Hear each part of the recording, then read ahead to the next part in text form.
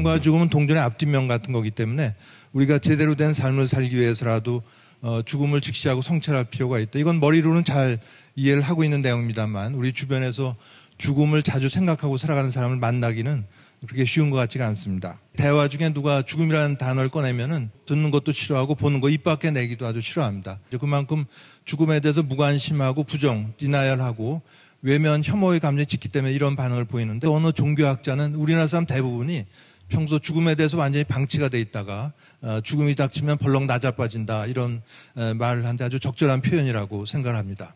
자, 죽음을 바라보는 사회적 시각의 변화를 요약을 했습니다. 1951년에 미국의 사진작가 유진 스미스가 찍은 어, 장례식 전야라는 작품입니다. 스페인 마을에서 한 노인이 가족과 마을 사람, 지인들이 지켜보는 가운데 임종을 맡고 있는 장면을 보여주고 있습니다.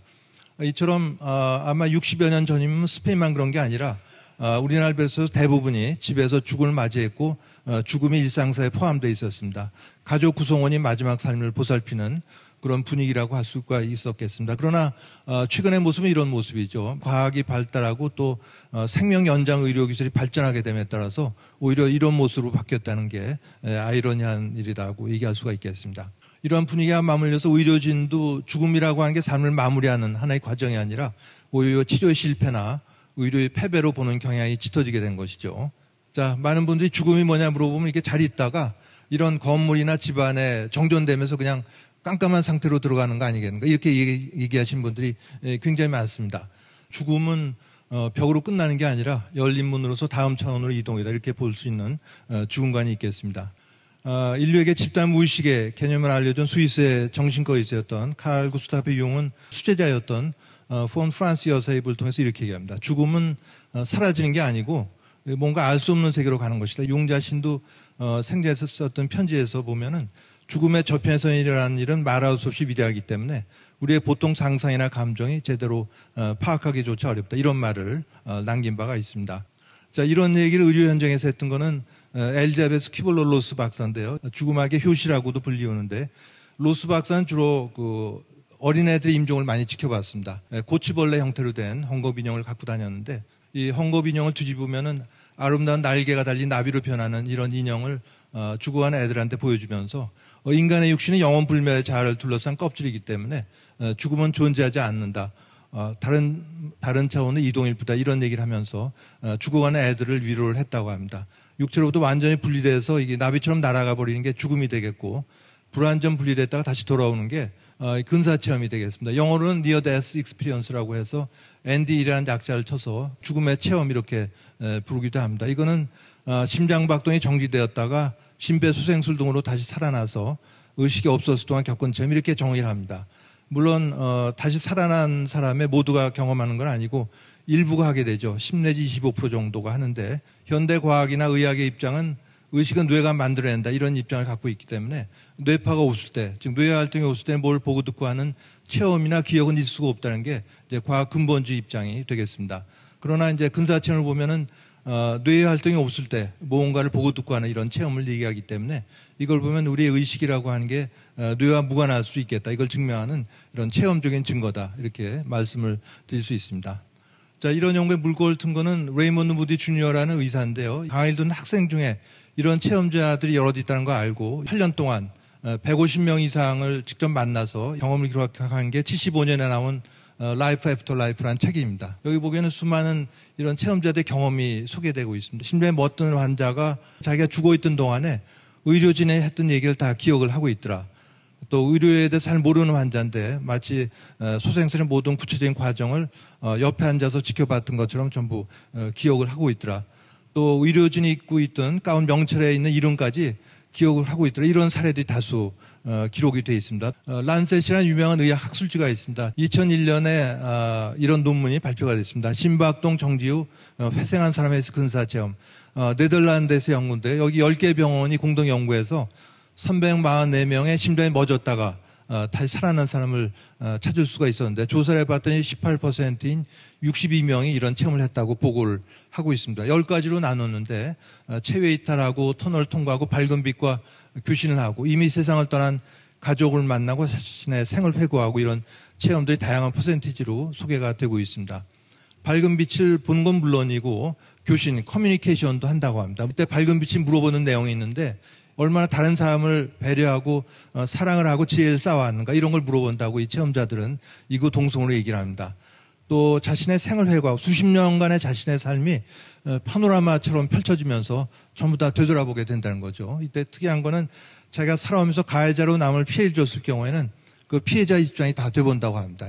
자, 이 연구는 여기서 끝난 게 아니라 이런 체험이 삶에 어떤 변화를 줬나를 2년 어, 뒤, 8년 뒤까지도 조사를 해봤습니다. 근사 체험 했던 23명, 또 죽었다 살아나긴 했지만 체험이 없었던 15명을 두 그룹으로 나눠서 각 체험을 점수화해서 어, 총 점수의 합계로 비교를 해본 거죠. 보시게 되면 대부분 근사 체험자 그룹에서 다른 사회에 대한 공감, 타인에 대한 이해하고 인생의 목적을 이해하고 또 영적인 문제에 대한 관심이 커지고 어, 죽음에 대한 두려움은 마이너스 표시로 그렇게 감소한 것을 어, 볼 수가 있습니다. 그 일상사에 대한 감사의 마음이 커졌다고 어, 보고를 하고 있습니다. 아주 짧은 순간의 체험 일 수가 있을 텐데 체험자들의 삶에 8년 뒤까지도 영향을 줄 정도였으니까 아주 삶의 심대한 변화를 줬다는 것을 이 연구를 통해서 보실 수가 있겠습니다. 또 다른 영적인 현상을 알아보기로 하죠.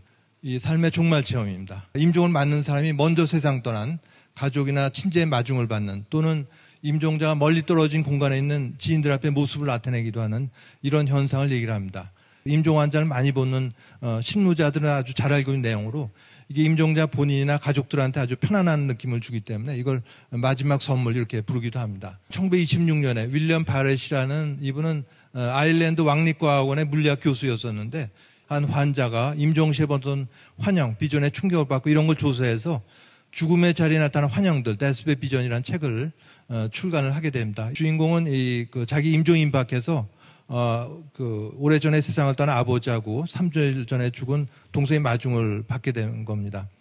동생이 3주 전에 죽었지만은 어, 아무 얘기를 안 얘기를 해주지 않았던 건데 이때 나타난 망자의 영혼은 어, 삶의 절정기 때의 모습으로 나타난 게 어, 특징이라고 할 수가 있겠습니다. 이런 게 임종기 때 나타나는 자연스러운 현상이다. 이런 걸 안다면은 무엇보다 환자를 위축시키지 않고 격려하면서 편안한 죽음을 맞이할 수 있는 어, 중요한 알입니다. 이렇게 어, 요약을 할 수가 있겠습니다. 그래서 일부 선진국에서는 어, 초등학교 한 5학년 때부터 이런 죽음에 대한 교육을 시작하는 게 바로 이런 이유라고 할 수가 있겠습니다.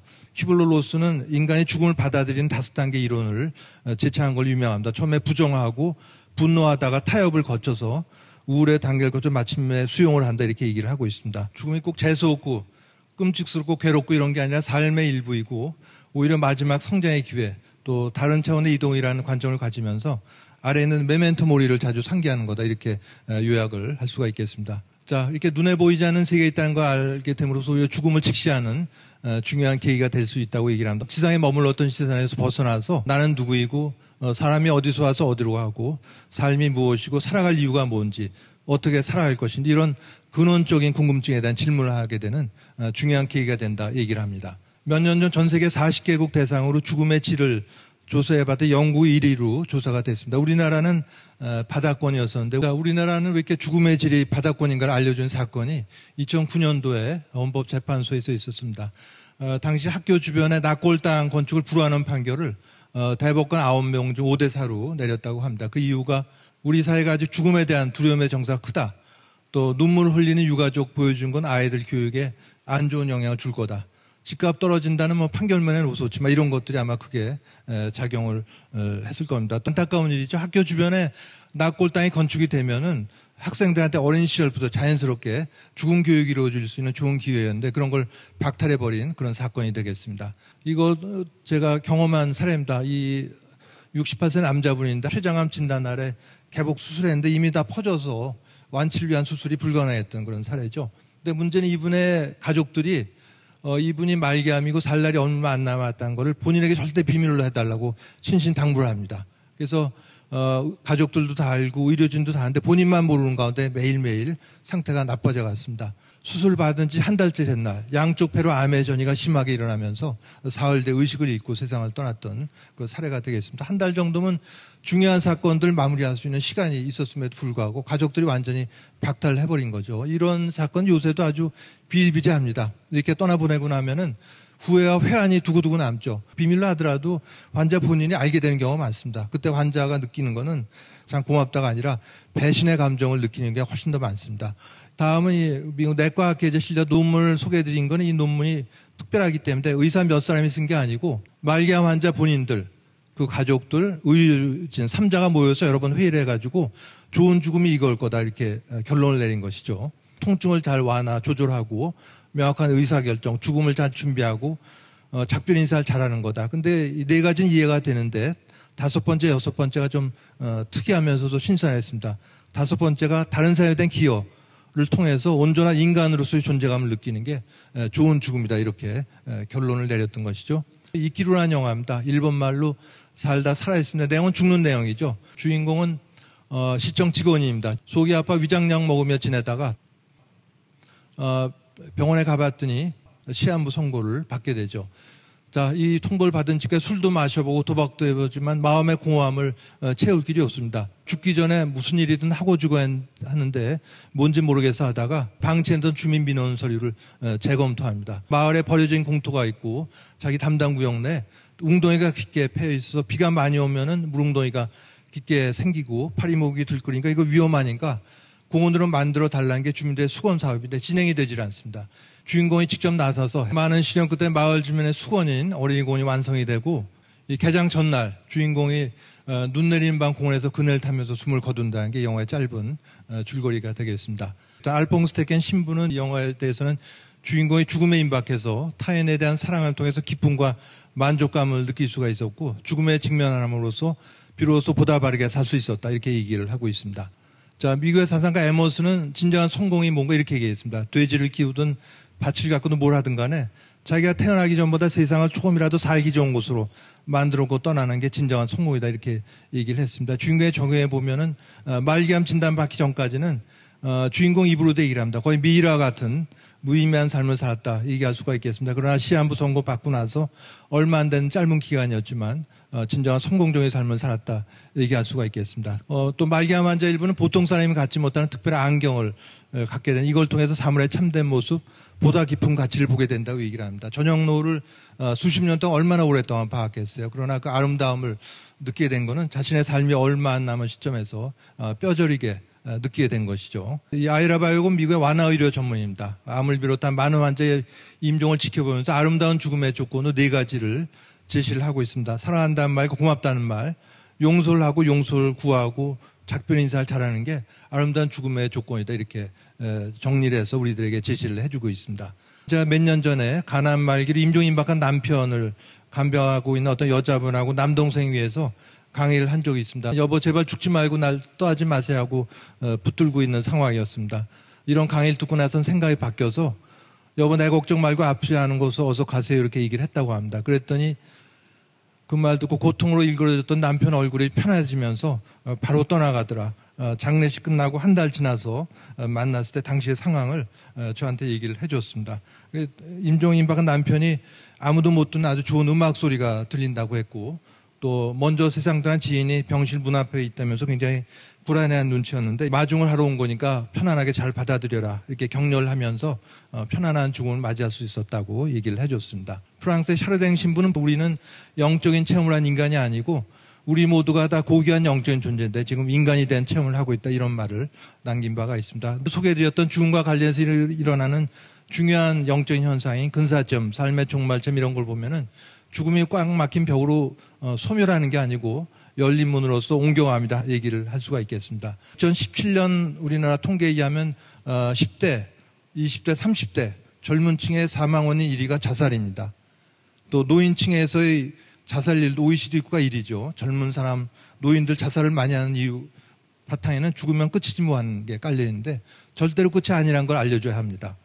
어, 자살을 몰고 하는 어려운 상황이 없어지는 게 아니고 그대로 갖고 가게 되는 거죠. 그런 걸 얘기해 줘야만 효과적인 자살 예방이 될 수가 있겠습니다. 또 어, 가족 구성원과 면 사별 육체는 소멸했지만 어, 그 육체의 근본이 됐던 의식체 이거는 다른 차원으로 이동하고 어, 영속적으로 존재한다 이런 걸 알려줌으로써 깊은 슬픔에서 빠져나올 수 있는 어, 큰 힘이 될 수가 있겠습니다. 이, 어, 이거는 제가 10년 전에 사진을 찍어 놓자 해서 어, 영정 사진을 찍기로 했습니다. 그리고 10년 지나서 찍은 작년 사진입니다. 제가 작년에 방광암 진단을 받고 8월 말에 어, 그 큰 수술을 하기 전에 몇 차례 항암 화학요법을 받으면서 어, 얼굴이 퉁퉁 벗을 때 모습이 되겠습니다. 죽음도 이제 저한테는 강 건너 불구경 할 수 있는 게 아니고 바로 이제 발등에 불이 된 것이죠. 46년에 미국 사진작가 유진 스미스가 찍은 어, 이런 제목의 사진입니다. 두 자녀가 걸어가는 뒷모습을 찍었는데 저는 이 사진을 죽음은 소멸이 아니고 옮겨갑니다. 얘기를 할 때 즐겨서 사용하고 합니다. 옮겨가기 전에 할 일이 어, 바로 이것이죠. 매일매일 살면서 마음이 원하는 걸 놓치지 않은 가장 방법으로 하나 이게 매일 아침에 일어날 때 어, 어떤 눈에 보이지 않는 가상의 새가 어깨에 앉아 있다 관상하고 새한테 매일 물어보는 겁니다. 오늘이 내가 죽는 날이냐 새야. 난 준비됐니? 바랐던 대로 인생을 살았니? 되고 싶던 사람이 됐니? 하면서 매일매일 아침 새에게 물어봄으로써 마음이 원하는 걸 어, 가장 놓치지 않는 방법이 될 수 있다 이렇게 얘기를 하고 있습니다.